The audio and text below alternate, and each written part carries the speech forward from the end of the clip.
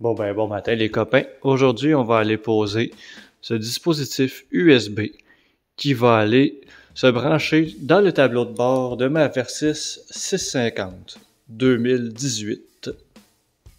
Donc pour commencer, ici, on va seulement aller pousser les rivets qui s'enlèvent très facilement. On a un de chaque côté.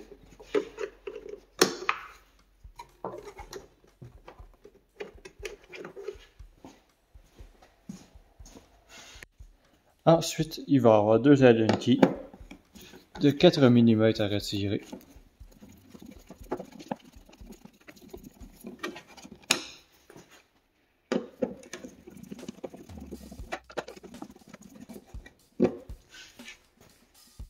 Montez votre pare-brise à la hauteur maximale.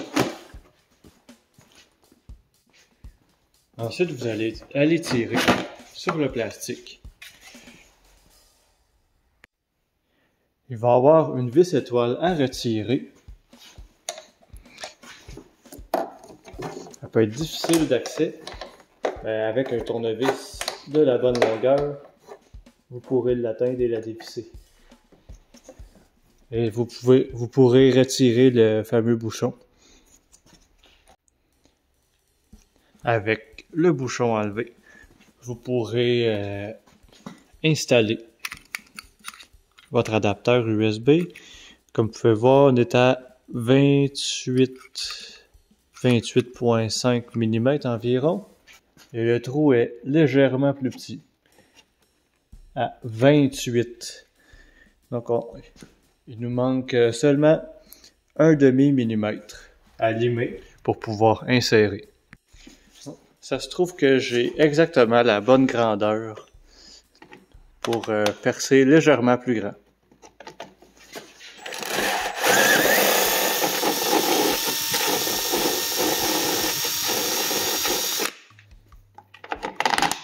Et voilà, merveilleux.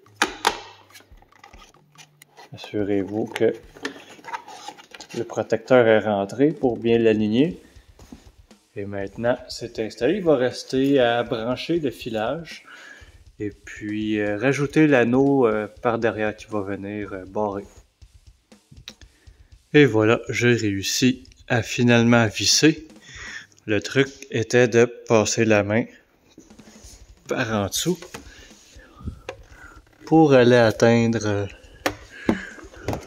Vous allez devoir passer votre main comme un serpent pour passer l'anneau ou sinon vous pouvez enlever tous les plastiques du carénage. Et puis euh, après quelques minutes de sacrage, j'ai découvert que tous les morceaux qui vont tomber si vous les échappez devraient euh, rester pris ici, juste en dessous du radiateur.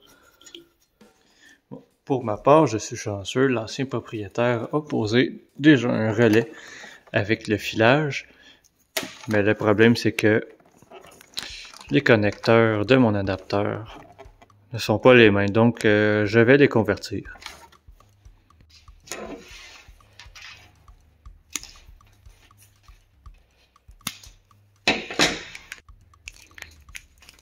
Vous allez avoir besoin de skinner un peu le filage pour pouvoir accepter les nouveaux connecteurs. Bon, là, on va venir clamper les petites languettes de métal.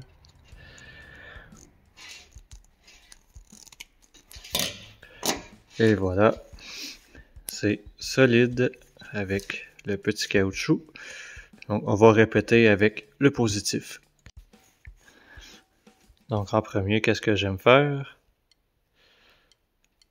C'est d'aller prendre le fil ici.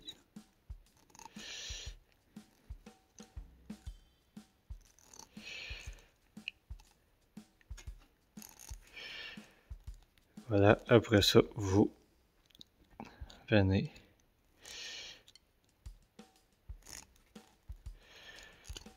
pincer la deuxième section sur le fil. Et voilà, assurez-vous que quand vous coupez votre fil, il, le fil n'est pas trop long. Et n'oubliez pas non plus votre fameux caoutchouc. Maintenant, on va les brancher. Les connecteurs, donc le positif est dans ce sens. C'est un espace assez restreint. On va commencer par le négatif pour que ça soit plus facile. Donc, vous pouvez aller le chercher par en dessous.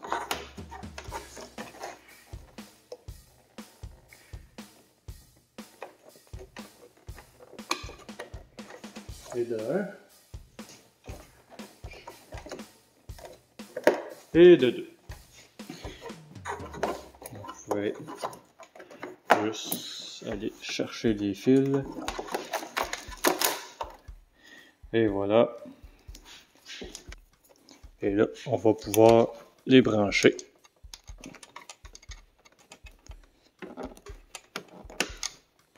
Bien au fond.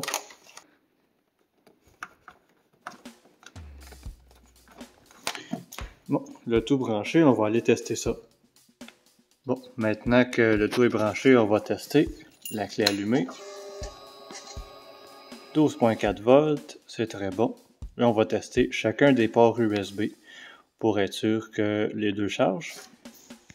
Bon, maintenant, j'ai mon intercom LX B4FM branché. Là, on va pouvoir tester quand on branche, est-ce que ça va charger. Prise numéro 1, ça charge. Et la deuxième. Ah, intéressant. Les deux prises sont euh, à l'inverse. C'est vraiment intéressant comme design. Bon, peu importe. La deuxième, prise à l'envers.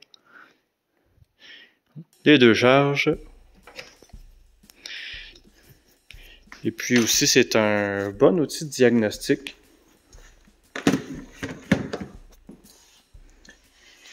Euh, si jamais vous partez un voyage et que vous, vous pouvez voir si jamais votre système de recharge fait défaut. On va tester.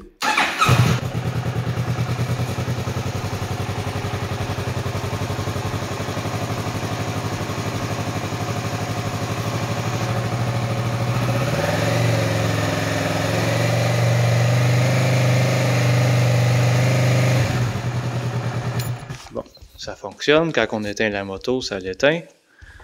On a le petit couvercle qui permet de protéger de l'eau. Une fois que vous aurez sécurisé le filage, vous pourrez euh, remettre votre plastique protecteur.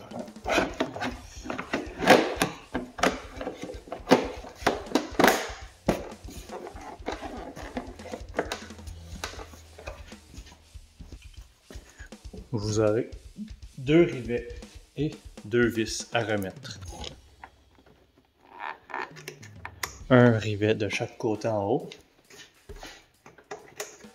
et deux vis à lentille de chaque côté.